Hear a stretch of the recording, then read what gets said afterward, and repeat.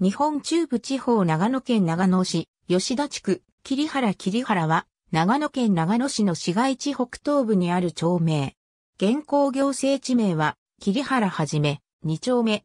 住居表示実施済み区域である。郵便番号は381-0045。全域が長野市役所吉田支所の管内である。歌枕でもある。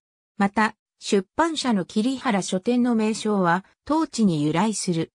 地区の南部には、信濃鉄道北信濃線と北長野通りが並行して走り、北部には長野電鉄長野線が東西に横切り、桐原駅が置かれている。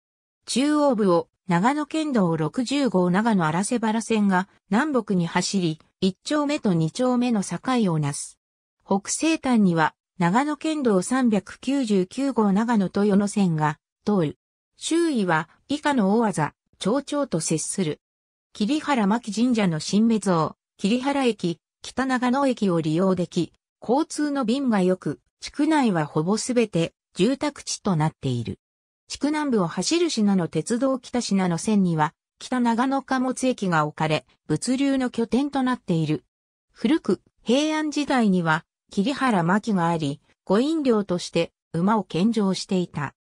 桐原は、歌枕にもなり、大阪の関の岩角踏み鳴し山立ちいずる桐原の駒、藤原高藤、周囲衆が住み立ち目も切り、腹の若駒のハムとするする草は燃えけり引く打ち群れて、お花足家の秋の駒たち渡りけるきり腹の野へ、源の国の部、花王三年代理歌合わせなどの歌に読まれている。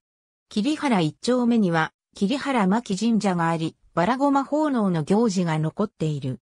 なお、この桐原牧は、松本市大あざ入山部あざ桐原付近にあったとする説もあるが、12世紀末に隣接する吉田に、吉田牧ができていること、周辺に、浮き、駒沢など牧に関連する地名が残っていることなどから、この地にあった可能性は高い。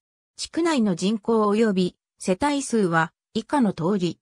桐原の範囲は、おおむね1876年以前の水内郡、桐原村の範囲に相当する。桐原駅桐原一丁目に、長野電鉄の桐原駅があり、以下の路線が利用できる。